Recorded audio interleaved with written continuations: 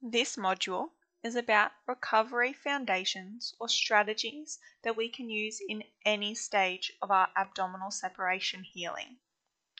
Firstly, we'll talk about newborn ergonomics. However, if you do not have a newborn, these ergonomic strategies can be used at any time. The first strategy is the back principle. While lifting things, we want to bend at the hips and knees so that's not to bend at the spine and have poor posture, but to have a nice straight back, engaged abdominals, and then bending from the hips and knees. Once we have bent at the hips and knees, we activate pelvic floor.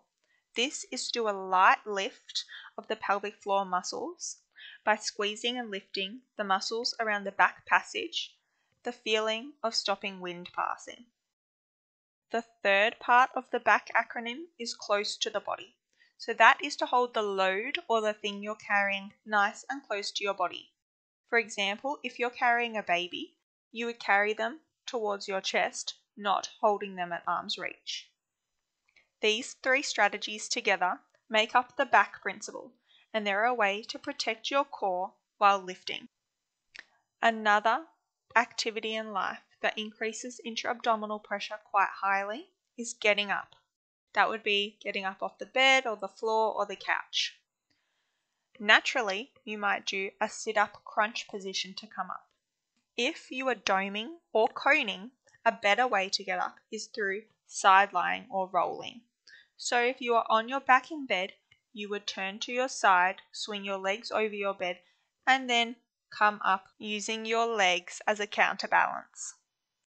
The knack is a move to use when you do things like lift or anything forceful that will put stress on your deep core. These could be things like coughing, sneezing, or lifting. The knack is where you contract your pelvic floor and turn on your deep core, that is, bring your belly button to spine, before you put the stress on it. For example, if you know you're about to cough, consciously lift pelvic floor and then cough. That is the knack. RICO is a recovery principle.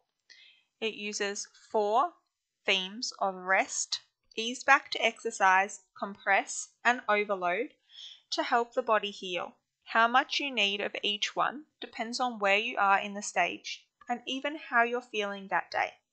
Next is talk about the early days, that is the first six weeks postnatally.